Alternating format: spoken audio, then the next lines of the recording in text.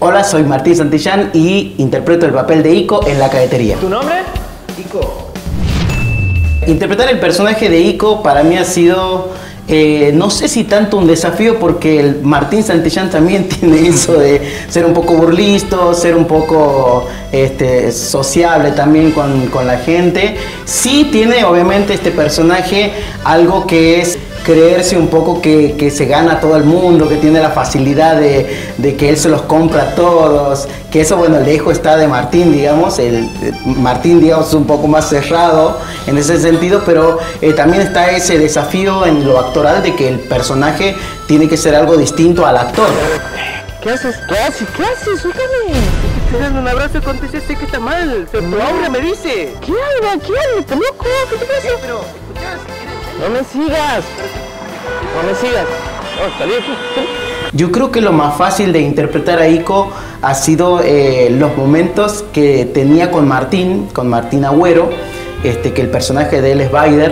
Eh, los momentos que me generaba con él, las charlas, las improvisaciones que también el director nos permitía hacer eran bastante lindas y bastante fáciles porque Martín es un compañero, es un buen también partener a la hora que le toca ser partener, es un muy buen compañero, digamos, a la hora de proponerte para que uno pueda lucirse como actor también. Pega, ¿Qué, qué pega?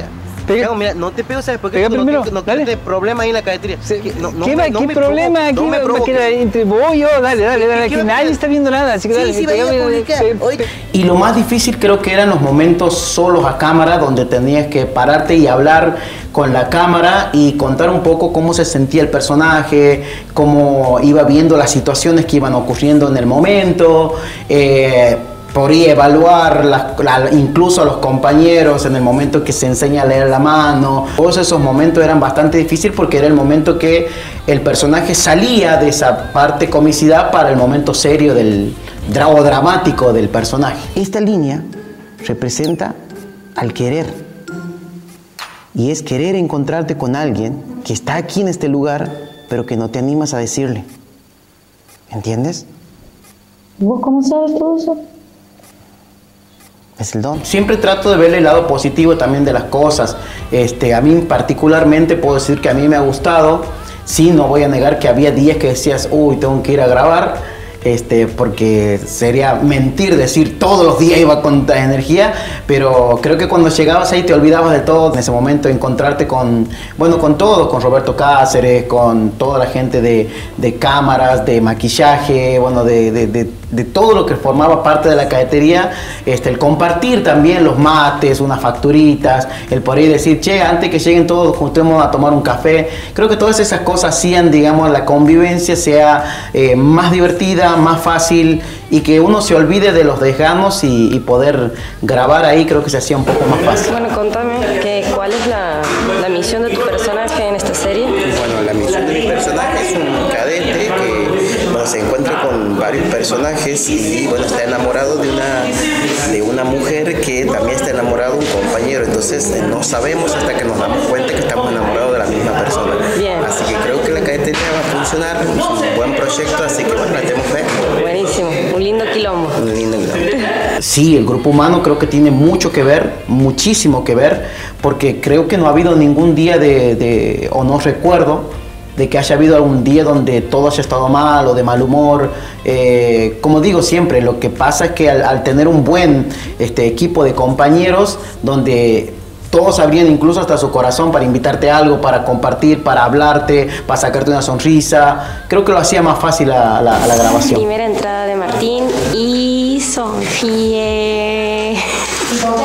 Yo creo que una de las escenas sí era la de cuando peleo con, con Martín, que nos agarramos a la trompada en el piso. Este, esa escena estaba muy divertida. Eh, la escena de los policías en la calle cuando tenían cuando yo tenía que reaccionar de una manera muy infantil ante una situación bastante dramática que era este estaban tratando de, de- de llevar los presos a mis compañeros y yo creo que desde ese momento me pongo una cara muy chistosa donde este, me largo a llorar, digamos, en vez de reaccionar como un adulto, empiezo a reaccionar como un niño, digamos. Creo que esa ha sido una de las escenas divertidas y bueno, y el partido de fútbol también ha sido una de las, para mí, de las mejores.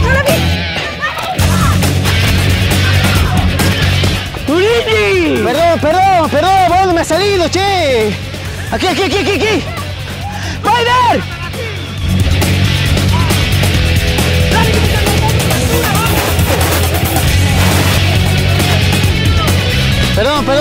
Gente, los invito a ver la cadetería. Si te has perdido alguno de los capítulos, no has alcanzado a verlo por diferentes motivos, acordate que la cadetería va a seguir transmitiéndose a través de Canal 14 TIC. Y también si quieres compartirlos con gente que vive en otra provincia y quieres que esto se expanda y siga este, viajando por todas partes, puedes hacer la invitación a través de las redes sociales como YouTube, en el canal de Sombras y Trapos y también en el canal de YouTube de Canal 14 de TIC. Espero que les guste como nos ha gustado grabar a nosotros para ustedes.